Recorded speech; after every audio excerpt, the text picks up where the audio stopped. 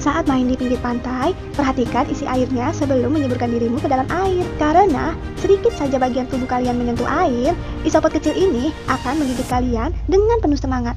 Hiu mini ini suka banget nongkrong di pinggir pantai dan suka makan daging segar seperti kamu.